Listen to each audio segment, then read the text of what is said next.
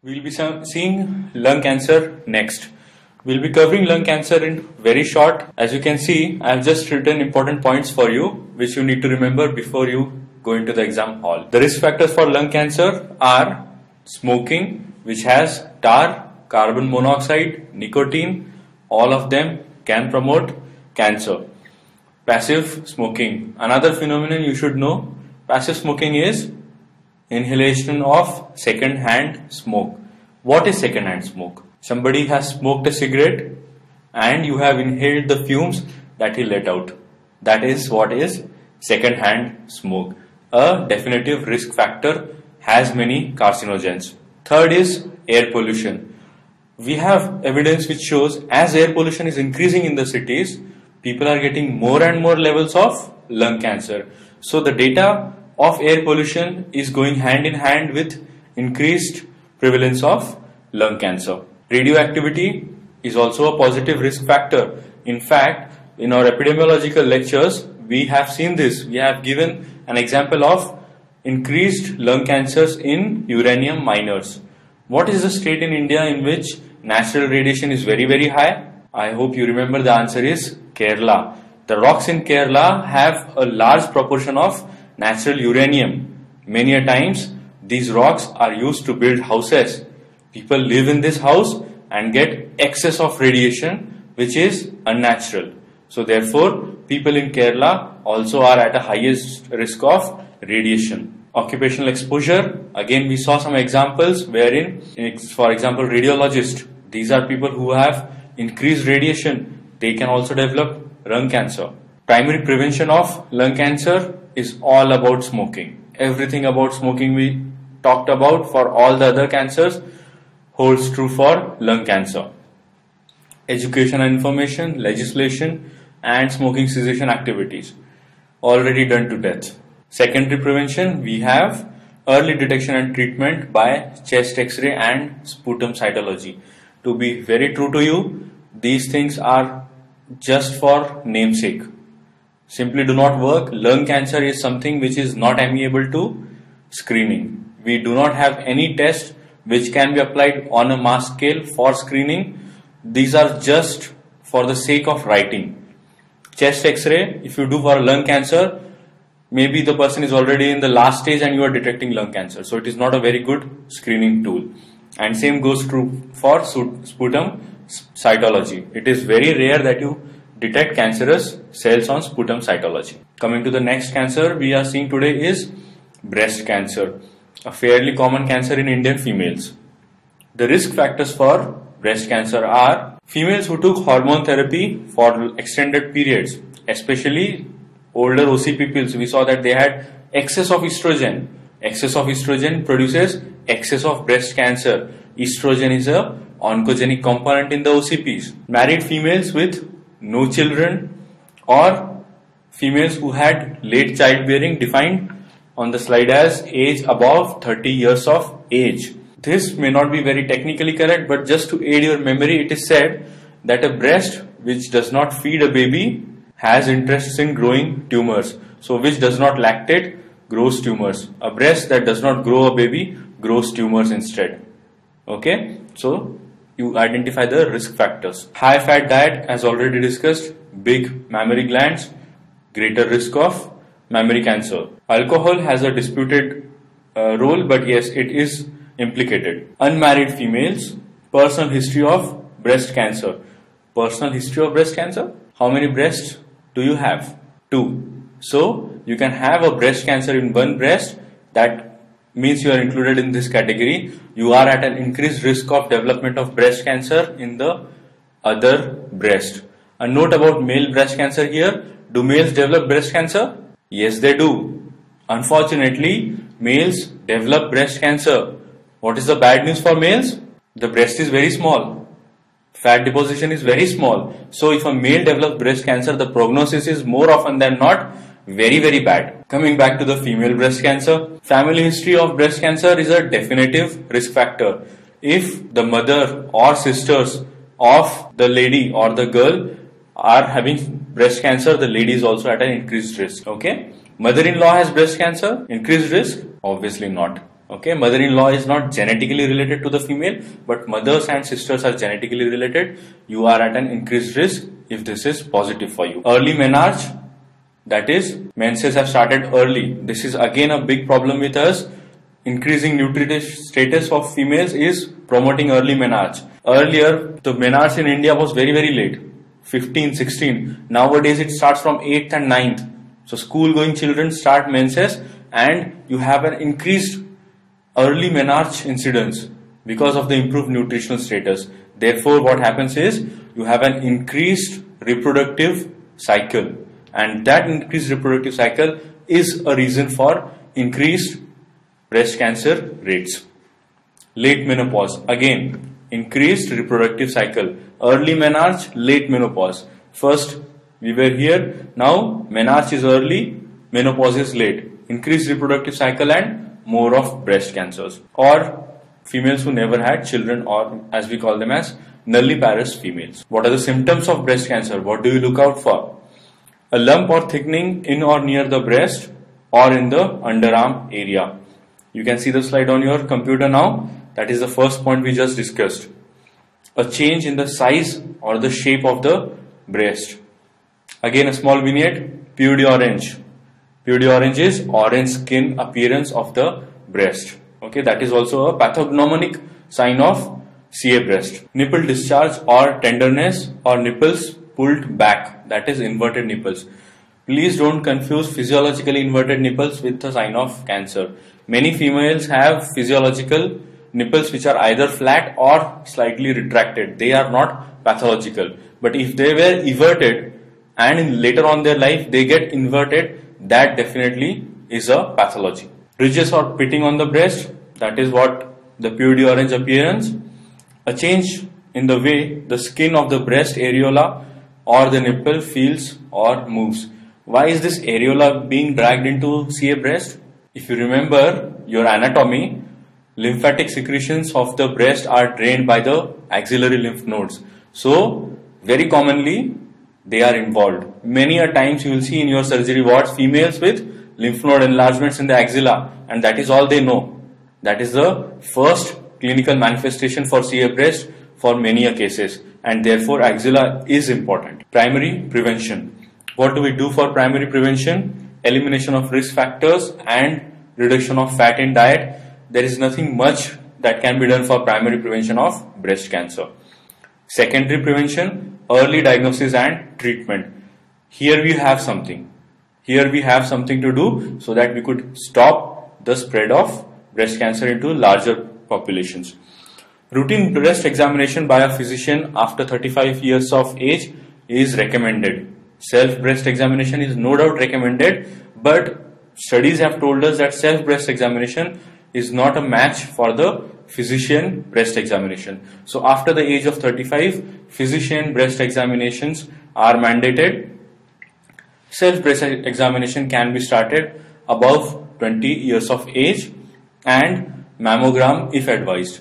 Mammogram again is a bit controversial. There have been several studies and in fact it is a controversy right now to do mammograms or not. So if the radiologist or if the physician has advised mammograms, then mammograms should be also done on regular intervals. Coming to the next topic, we are done with breast cancer. We are moving on to diabetes mellitus.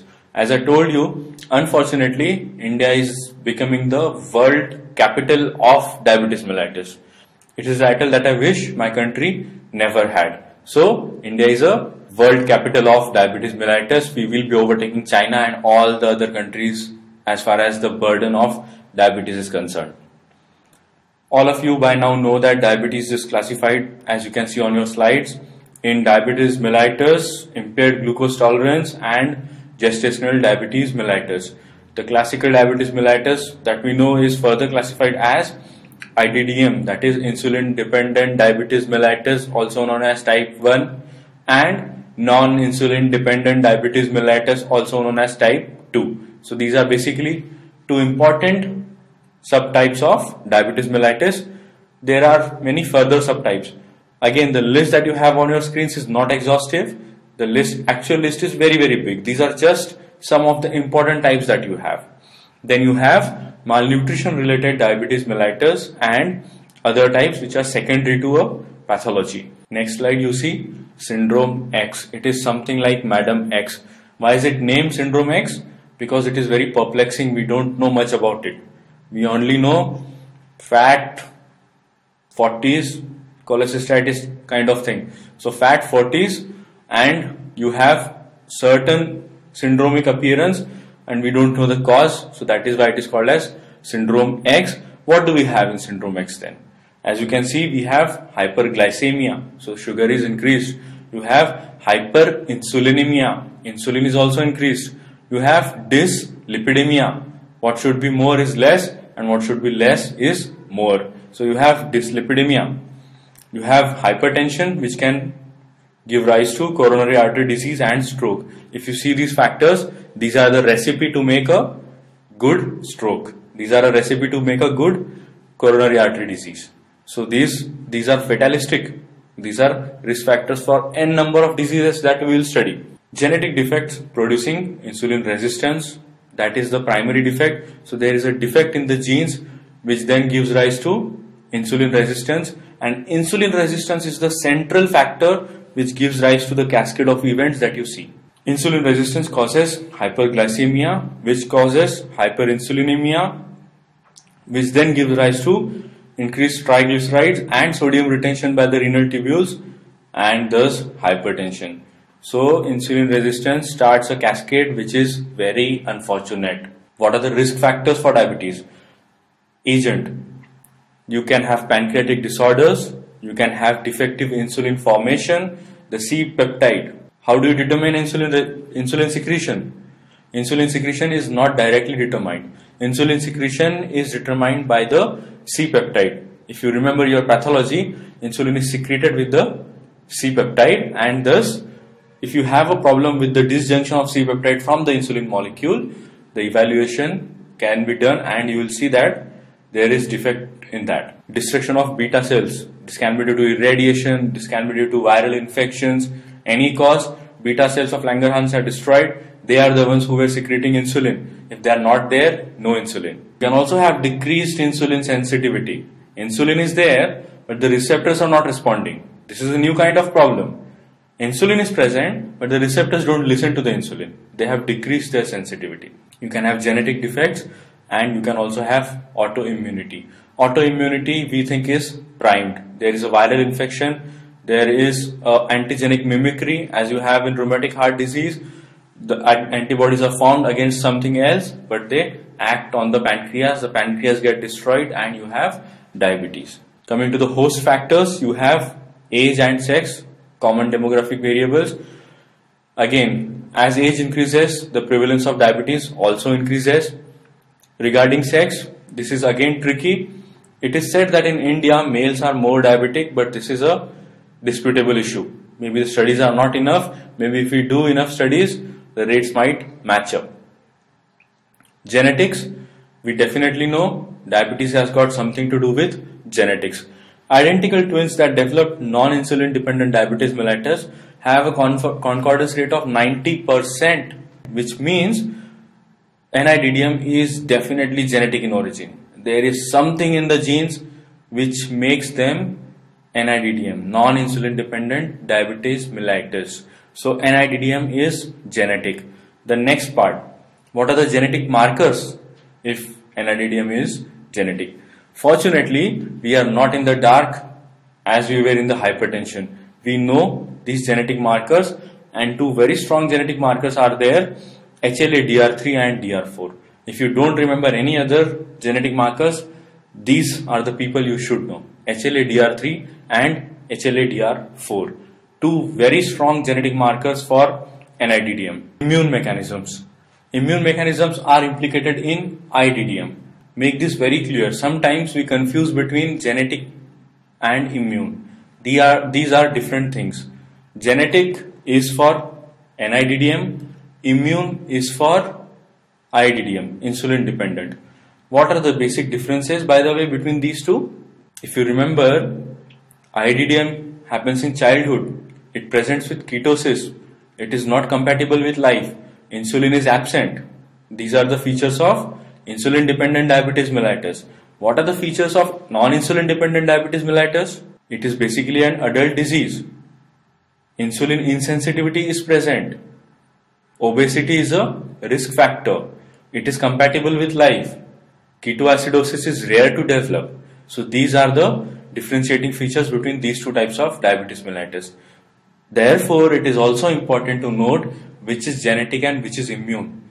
Non-insulin dependent diabetes mellitus, the common diabetes mellitus that you and me understand is genetic.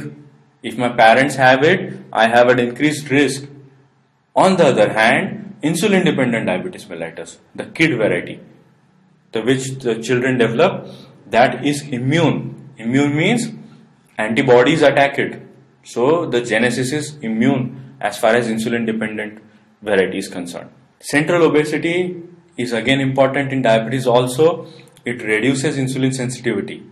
So the insulin receptors on adipocytes do not respond and you have diabetes. Coming to the effects of maternal diabetes, you have a big baby, macrosomia, very well known side effect of diabetes in pregnancy. You have a big baby. The pro- another problem is a baby who is delivered after the mother has started diabetes is at three times increased risk of developing diabetes. So that is again something you should remember. If the mother has developed diabetes, if the baby is delivered after that, the baby has three times increased chance of developing diabetes himself.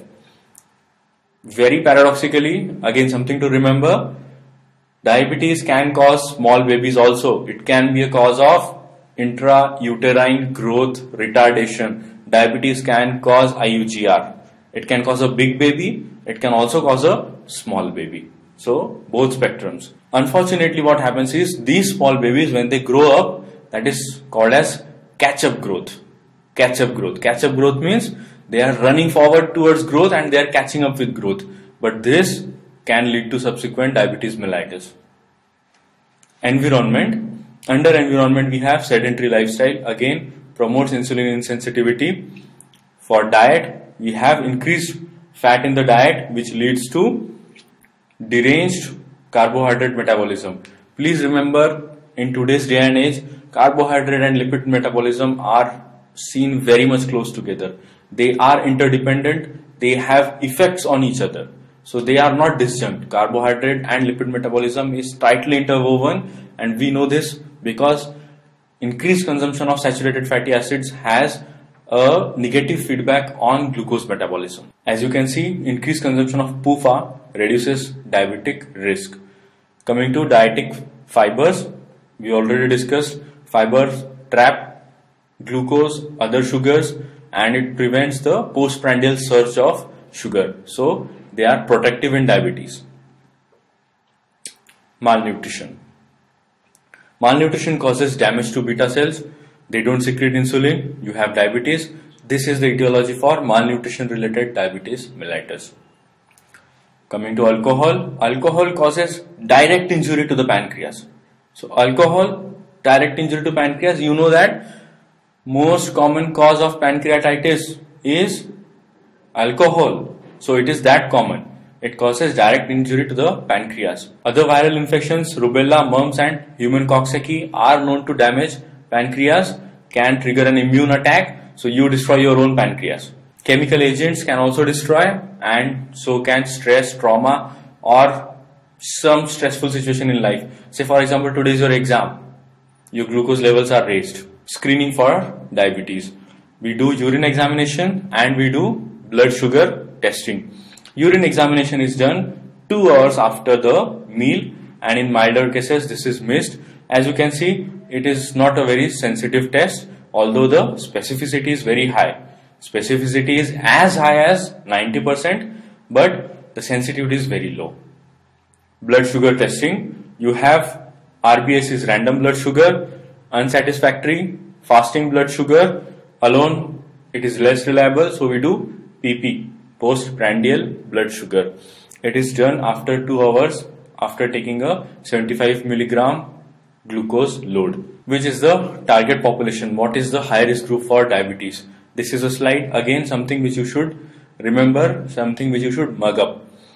High risk group are people above 40 years of age, okay, already crossed 40, high risk.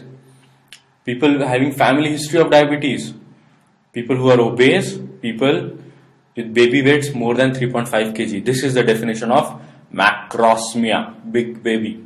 Okay, people with babies whose birth weight was more than 3.5 kg, a very big baby. Women showing excess weight gain in pregnancy and patients with premature atherosclerosis. These are the people who are the target group. Primary prevention, you have strategies which are directed at the population and you have secondary prevention. Under primary prevention, we'll see elimination of the environmental risk factors, primordial prevention. Primordial prevention, again, maintenance of healthy dietary habits, promotion of exercise, and prevention of adult weight gain. Healthy diets, diets that are high in fiber, physical exercise also helps in reducing the blood sugar. High risk strategy, we have correction of sedentary lifestyles, correction of overnutrition and obesity. We can also have avoidance of diabetogenic drugs such as oral contraceptive pills who are already in the high risk group. Secondary prevention, treatment. There are three approaches for treatment. The first one is diet alone. So you try to control the disease only on the basis of diet. Second, you have diet plus oral hypoglycemics. So you take the medicines orally. Third, you have diet plus insulin. Remember, if you are put on insulin, that does not mean that you can crash your diet. So diet is a common component. You should have diet with anything that you do. Even if you are put on insulin, diet has to be controlled. Aims of the treatment are maintenance of normal blood sugar levels, ideal body weight, balanced small frequent meals, diet and oral hypoglycemic agents and diet or insulin if these things don't work. You can do routine checking of glycosylated hemoglobin. Glycosylated hemoglobin is the compound of hemoglobin plus sugar. It gives you an index of the past three months of sugar intake. Sometimes what happens when you call the patient to your clinic for sugar testing, the patient comes to you, but what he does is he fasts. So when you do the blood sugar level, they are very low. So the patient is in a way cheating the doctor. How can you have a one up in this situation? You ask the patient to have a glycosylated hemoglobin check. Glycosylated hemoglobin would not come down. Blood sugar can come down, but glycosylated hemoglobin would only come down if the patient has stuck to the diet plan you gave him. So, glycosylated hemoglobin is a cheating unmasker. Glycosylated hemoglobin can bring forth the cheating the patient has done. It can be done at 6 monthly intervals. You can also have blood sugar monitoring at your home. Tertiary prevention is basically whatever is left. We have to prevent blindness, we can do routine fundoscopy, we can see those hemorrhages that can be present, you can see the decrease in visual acuity. You can also check for gangrene, local sensations. This is done with a microfilament that is Another MCQ, microfilament sensitivity testing, skin care, prevention of gangrene and prevention of injury to the leg. With that, we complete a very important section that is diabetes. Thank you.